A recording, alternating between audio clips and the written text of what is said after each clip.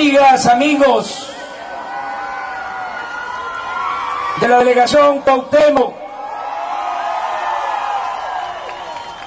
de las colonias, los barrios,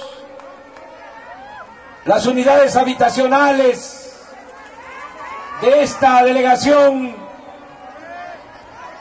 que es el corazón de la gran Ciudad de México y el corazón de nuestra República. Con este acto terminamos nuestro recorrido por las 16 delegaciones del Distrito Federal. Aquí en el monumento a la revolución, haciendo también un homenaje a quienes lucharon en otro tiempo por la justicia y por la democracia. Antes de entrar en materia, quiero preguntarles sobre su militancia, la simpatía de ustedes. Hago esto porque el Tribunal Electoral de la Federación ha emitido una resolución, un fallo, en donde se está resolviendo en el caso de Yucatán que los precandidatos no pueden hacer proselitismo abierto a todos los ciudadanos. Pero según entiendo, aunque han pedido que nos aclaren, hoy envié un escrito al tribunal hasta lo que se puede saber si se permite que en mi carácter de precandidato me reúna con militantes del PRD, del PT, del Movimiento Ciudadano.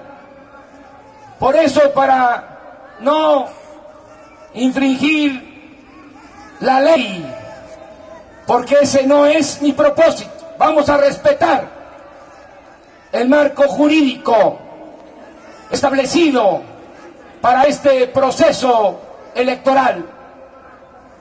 Por eso les pregunto, los que están aquí, ¿son militantes y simpatizantes del PRD, del PT y del Movimiento Ciudadano?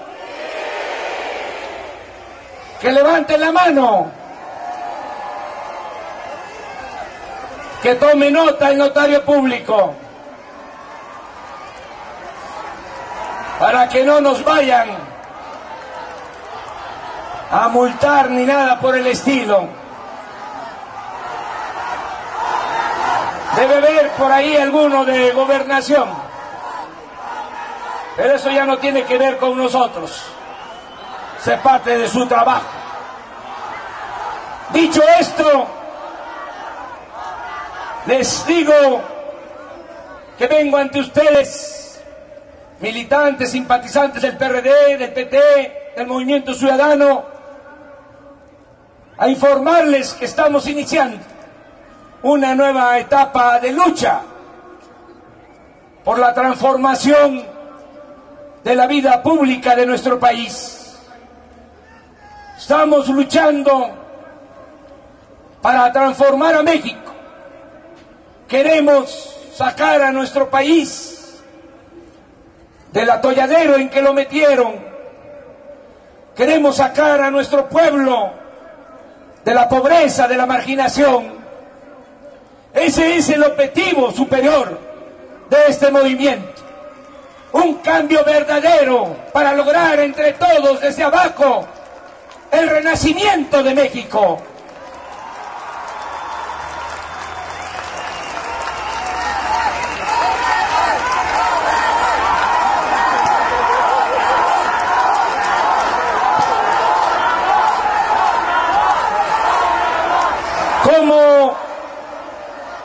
Vamos a lograr con la participación de militantes, simpatizantes del PRD, del PT, del Movimiento Ciudadano, con la organización de todos, vamos a lograr sacar a México de la decadencia en que se encuentra. Y de manera muy precisa, aunque nuestro proyecto lo comprende todo, quiero mencionar tres ideas básicas que resumen mi pensamiento, la idea que tengo para que entre todos salvemos al país. Tres palabras, tres términos, tres conceptos que se tienen que convertir en forma de vida y en forma de gobierno. Primero, honestidad. Vamos a combatir con toda nuestra fuerza y con el acuerdo de todos los mexicanos la corrupción política, porque eso es lo que más ha dañado a nuestro país. Nada ha dañado más a México que la deshonestidad de sus gobernantes. Eso ha dado al traste con todo. Esa es la causa principal de la desigualdad social y de la desigualdad económica. Por eso hay pocos que tienen mucho y muchos que tienen poco. Tenemos que cortar de tajo con la corrupción. Y eso nos va a beneficiar a todos. Vamos a elevar a rango supremo la honestidad para que así el gobierno tenga autoridad moral y pueda exigir a todos un recto proceder. No permitir la corrupción, ser a un lado la llamada cultura de la gandalle, esa máxima según la cual el que no tranza no avanza. Nada de eso. Que haya honestidad en nuestro país para que pueda haber justicia. Eso es lo que proponemos.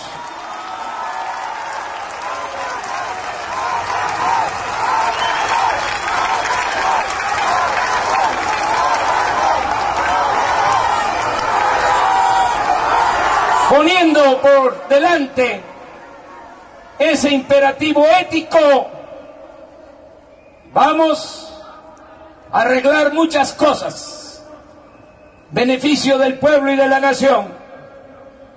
Con honestidad vamos a poder ajustar el excesivo gasto del gobierno, porque le cuesta mucho al pueblo mantener al gobierno. Es un gobierno oneroso, gobierno mantenido y bueno para nada el que se padece en nuestro país. No debemos de olvidar cuestiones sencillas, elementales, que se pasan por alto. El presupuesto es dinero del pueblo, no es dinero del gobierno, no es dinero de los funcionarios. Los funcionarios son simplemente administradores de los dineros del pueblo y por cierto muy malos administradores. ¿Por qué el presupuesto es dinero del pueblo? Porque cada año se reúne ese presupuesto con lo que se vende de petróleo al extranjero. Y el petróleo es de la nación desde que ese gran presidente, el general Lázaro Cárdenas, recuperó el petróleo que estaba en manos de extranjero, que lo había entregado Porfirio Díaz para beneficio de los mexicanos. Se reúne también el dinero del presupuesto de los impuestos que todos pagamos, porque hasta la gente más humilde, cuando compra una mercancía, ahí va incluido un impuesto. Por eso sostengo que el presupuesto es dinero del pueblo. Esto a veces se nos olvida, lo debemos de tener muy presente, porque ahí está parte de la solución al problema de México. Hay presupuesto suficiente, el presupuesto nacional, y eso no se sabe, es de 3 billones 500 mil millones de pesos. Pero ese dinero que es del pueblo siempre se queda arriba no se distribuye con justicia, no alcanza a todos. A veces entregan algo, migacas, en víspera de las elecciones, porque primero empobrecen al pueblo y luego trafican con la pobreza de la gente. Ya no se quiere eso. No migajas, justicia. Vamos a cuidar ese presupuesto, a ser garantes de ese dinero del pueblo, que se distribuya con justicia, que alcance a todos. En el 2006 planteé en una frase lo que se tenía que hacer.